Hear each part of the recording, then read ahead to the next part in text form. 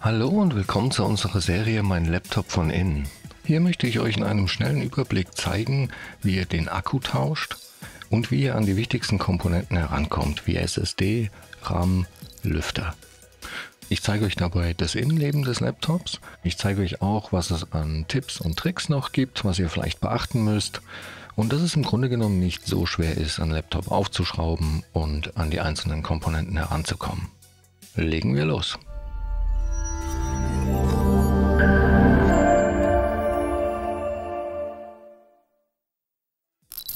Wir haben hier ein Dell Latitude 15 und zwar ein 3520 und ich zeige euch auch gleich, wie ihr an die genaue Modellnummer herankommt. Aber zuallererst trennen wir mal das Laptop vom Ladekabel. Die genaue Modellnummer finden wir bei diesem Gerät auf der Rückseite. Und mit dieser Nummer findet ihr auch auf unserer Shop-Seite sehr einfach die Ersatzteile. Generell kann man noch sagen, dass ein Displaytausch hier relativ einfach ist. Man muss dafür nur den Frontrahmen abnehmen und kann das Display dann tauschen. Die Tastatur kommt zusammen mit dem Topcase und dafür muss man dann alles aus dem Gehäuse nehmen. So, um das Laptop jetzt zu öffnen, muss man diese Schrauben hier lösen. Ich blende euch die auch im Bild ein. Und zu beachten ist hierbei, dass die Schrauben im Gehäuse bleiben, wie man hier ganz gut sehen kann. Die werden also nur gelockert und kommen nicht ganz raus. Zum Öffnen habe ich hier ein Universalwerkzeugset benutzt. Da sind alle gängigen Schrauben und auch Aufsätze mit dabei, sehr praktisch.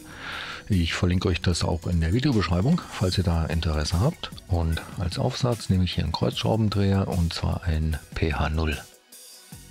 So, dann wollen wir mal schauen, wo genau das Gehäuse eigentlich mit der Gehäuseunterseite verbunden ist. Denn da müssen wir dann rein, um es aufzuhebeln. Und hier zum Beispiel kann man die Trennlinie ganz gut sehen. Und ja, oft ist es auch so, wenn die Schrauben gelöst sind, dann kommt einem auch die Unterseite schon so ein bisschen äh, entgegen und hat da schon meistens nicht immer eine kleine Öffnung die man dann auch nutzen kann.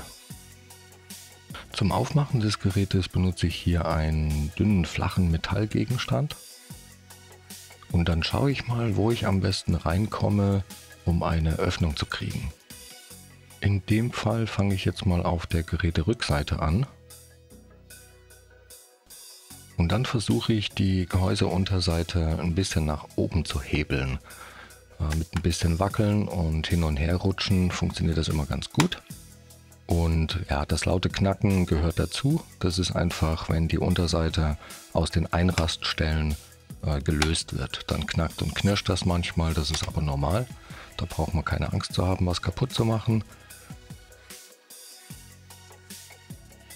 Wenn es irgendwie gar nicht geht, dann nicht mit Gewalt. Lieber nochmal schauen, ob alle Schrauben raus sind oder ob man da vielleicht vergessen hat, eine zu lösen.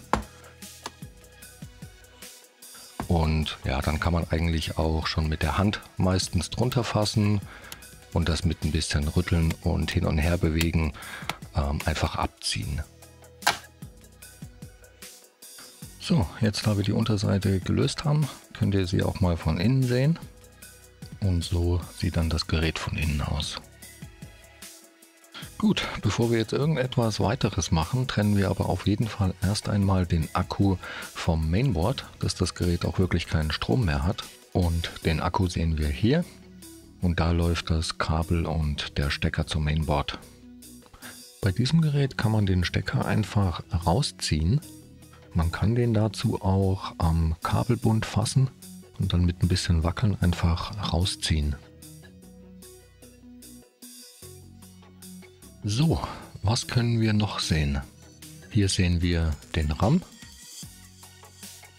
Da sehen wir die SSD. Das ist in dem Fall eine verkürzte, dazu aber später mehr. Hier sehen wir den Lüfter und den Heatsink, der die CPU kühlt und die GPU. Und hier noch das WLAN-Modul mit den beiden Antennen. Es gibt hier auch noch eine kleine Besonderheit und zwar kann man hier auch eine 2,5 Zoll Festplatte verwenden. Äh, die würde hier eingebaut werden und dafür müsste man dann allerdings einen kleineren Akku nehmen. Gut, um jetzt den Akku zu tauschen, muss man nur diese Schrauben hier lösen, die auch alle mit M2 auf dem Akku selber markiert sind. Und danach kann man den Akku auch einfach nach oben hin aus dem Gerät nehmen und gegebenenfalls durch einen neuen ersetzen. Hier muss man übrigens aufpassen, weil bei dem neuen Akku das Kabel nicht dabei ist. Das lässt sich hier von dem Akku ganz einfach trennen und abziehen. Und bei dem neuen Akku muss man dann auch dieses Kabel wieder verwenden und dann eben gegebenenfalls dort wieder dran stecken. Unter dem Akku sehen wir hier jetzt übrigens auch das Touchpad. Das lässt sich in dem Fall auch einzeln lösen. Dafür muss man nur diese Schrauben hier rausnehmen. Danach muss man noch das Kabel trennen. Und das ist hier mit einem Kippschalter verbunden. Den klappt man zuerst nach oben, nicht einfach dran ziehen. Und dann kann man das Kabel aus dem Stecker ziehen.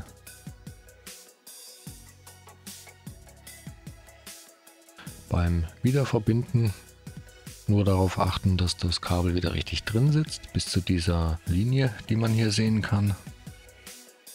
Bis dahin einfach wieder reinstecken, was manchmal ein bisschen friemelig sein kann.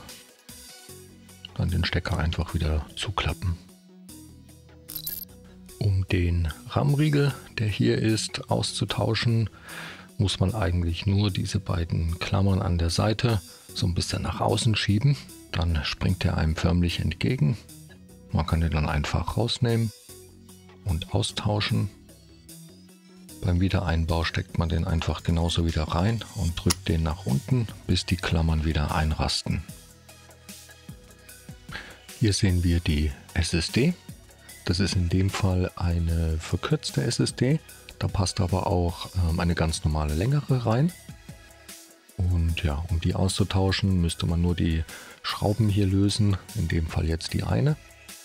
Dann kann man die leicht nach oben aus dem Slot nehmen und dann ja, umgekehrt einfach genauso wieder einstecken. Und ja, sollte man hier eine lange SSD verwenden wollen, dann muss man diesen äh, Abstandshalter, der hier sitzt, äh, aus dem Gerät rausschrauben und danach wird der nach hinten gebracht. Da gibt es extra Platz dafür. Ähm, der kommt mit diesen kleinen Flügeln einmal 180 Grad gedreht in die Ausbuchtung hier. Das ist alles äh, echt super einfach, weil das schon so vorgefertigt ist. Ja, da kommt das einfach rein, wird dann eben verschraubt und dann hat man da genau die richtige Länge, um eine große SSD reinzubauen. In unserem Fall machen wir das jetzt natürlich nicht. Das heißt, ich baue das wieder vorne ein, stecke die SSD in den Slot und dann wird die einfach wieder verschraubt.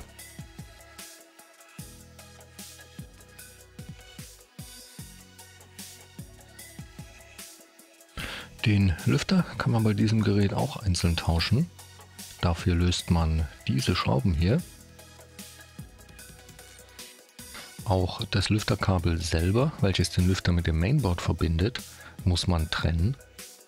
Und hier ist es so, dass die Kabel sehr dünn sind. Da sollte man also nicht direkt dran ziehen, eher versuchen den Stecker seitlich zu fassen und dann ja, mit ein bisschen hin und her rütteln rauszuziehen.